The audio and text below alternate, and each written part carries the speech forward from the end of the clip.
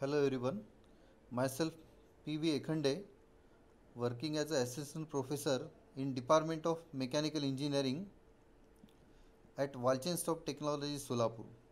So today we'll have the study related to the four-stroke engines. At the end of this session, students will be able to understand the working of four-stroke engines. Four-stroke engine for that first we'll have the introduction of the four stroke engine. Then we'll have the study related to the four stroke engine working of the four stroke engine which is a petrol type of the engine called as a SI engine. Then we'll have the study related to the working of four stroke CI engine which is using the diesel as a uh, working substance over there. Now introduction to four stroke engine. Under that first we'll see regarding the cycle which is required for the four stroke engine. In four stroke engine the cycle consisting of consists of four strokes of a piston which is completed in the two revolutions of the crank or the crankshaft.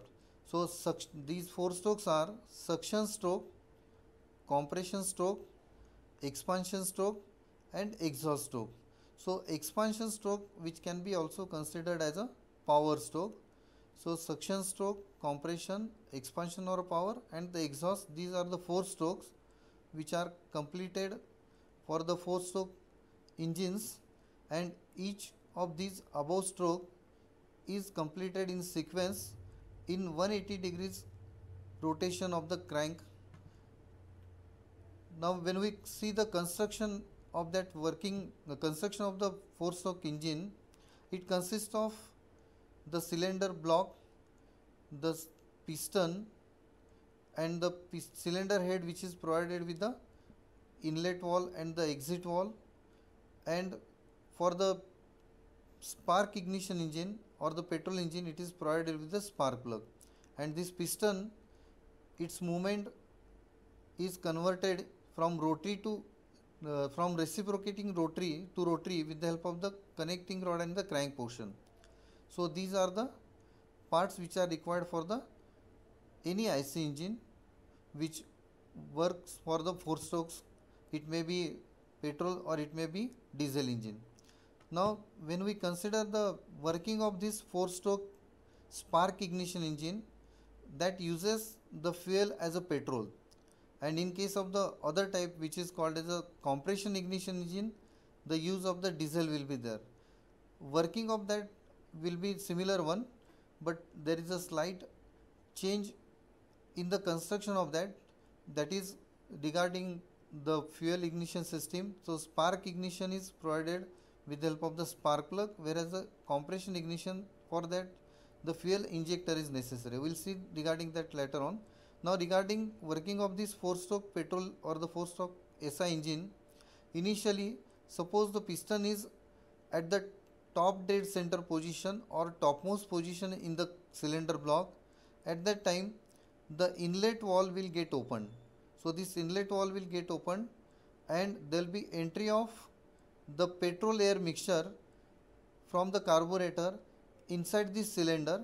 So this entry inside this cylinder will be because of the pressure difference created over there because when the piston moves in the downward direction the vacuum will get created inside this and in the carburetor whatever the fuel is there along with the air that will have the pressure higher than the vacuum pressure or that is at the atmospheric pressure. Due to this pressure difference the charge which is a mixture of petrol and air enters inside this cylinder portion till the piston reaches to the bottommost position which is called as the bottom dead center position.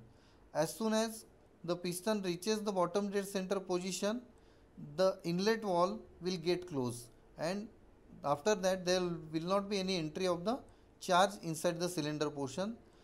At the same time the exhaust valve which is in the closed condition remains in the closed condition means now the top area above this piston will have the tight sealed portion. And due to this when the piston moves in the upward direction the charge which is a air petrol mixture will get now compressed to the very high pressure.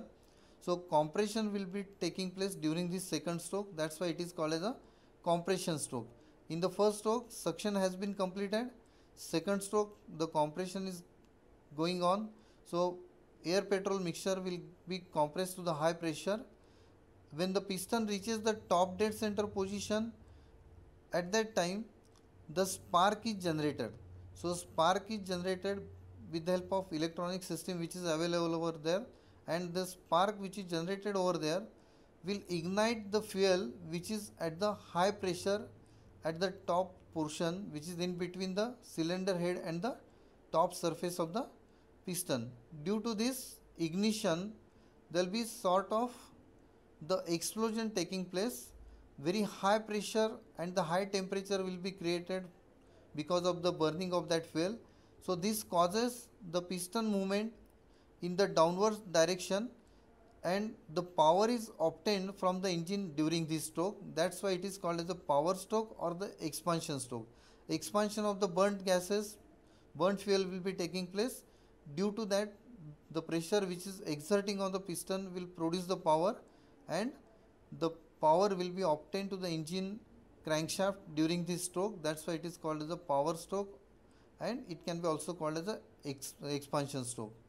Now when the piston reaches the bottommost position that is the bottom dead center position at that time the exhaust valve will get opened now.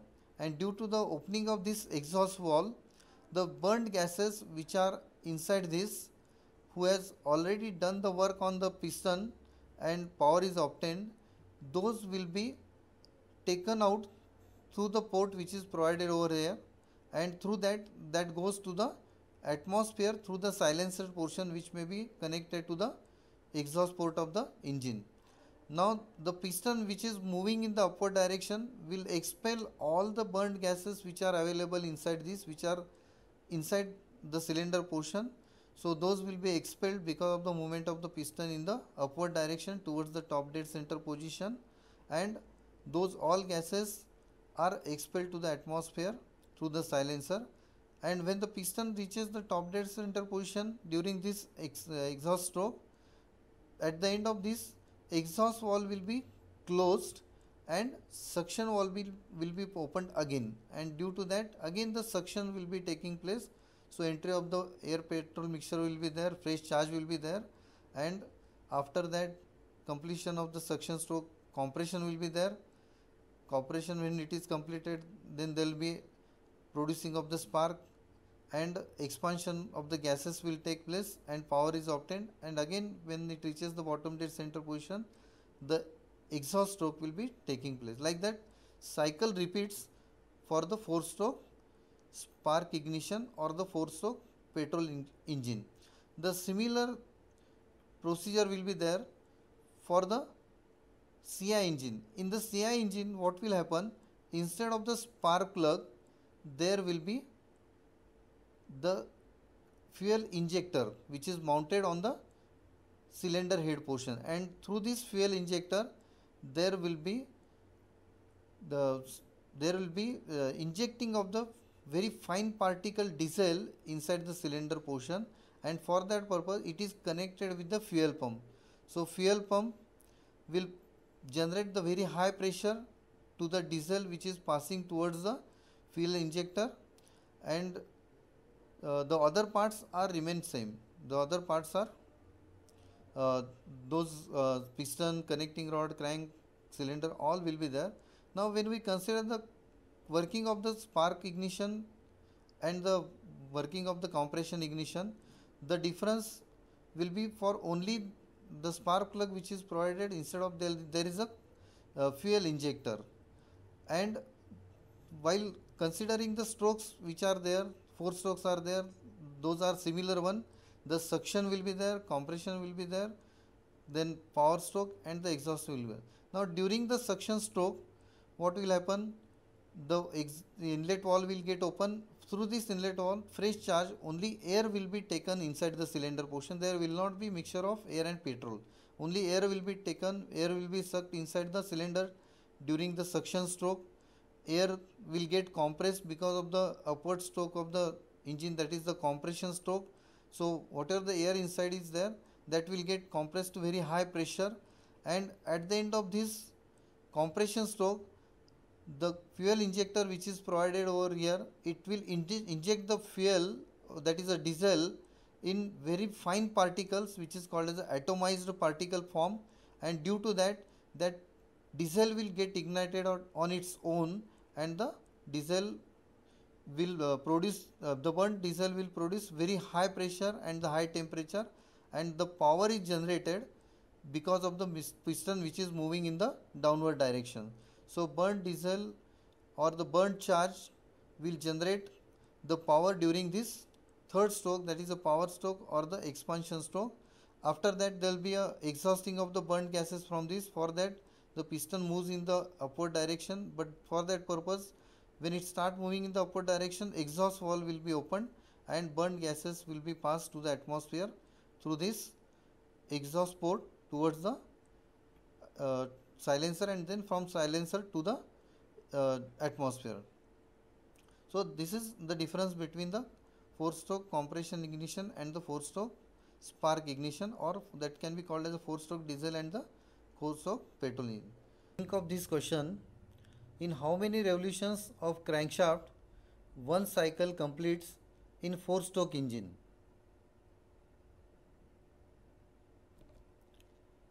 In four stroke engine the four strokes are completed separately or distinctly and for this purpose the cycle is completed in two revolutions of the crankshaft. Okay, thank you.